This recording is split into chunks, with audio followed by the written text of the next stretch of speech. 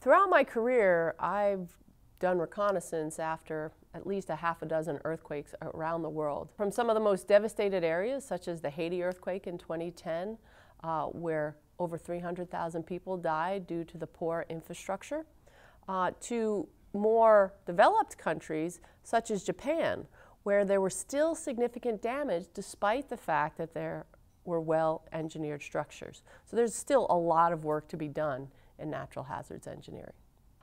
I'm the principal investigator for the Design Safe Cyber Infrastructure that's taking place here at the Texas Advanced Computing Center and also making use of the XSEDE resources.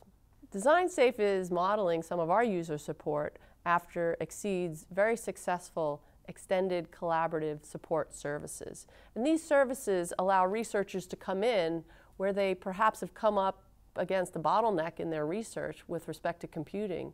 And the deep knowledge of the XSEDE staff lets, uh, helps those researchers solve that problem and really take their research to the next level. In natural hazards engineering, we take advantage of a lot of experimental data, try to couple it with numerical simulations, as well as field data from uh, observations from, from, when, from these events, and bring it all together to, to make advances. Researchers may build almost full-scale structures and put them on a shake table where we can subject those structures to different levels of earthquake shaking and see how they respond. So from a shaking table test, we can measure the movements of a building due to a certain seismic loading, and then we can develop a numerical model of that building subjected to the same earthquake loading and compare what the simulation says the deformations are, compare that to the experimental data.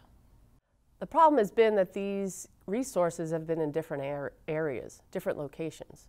And through Design Safe and partnering with the XSEDE uh, project, we've been able to bring it all under one umbrella so that natural hazards researchers can come to one place to get the data they need for their research, to perform the numerical simulations that they want to do, and then also analyze distinct and disparate data sets all within the cloud in one location.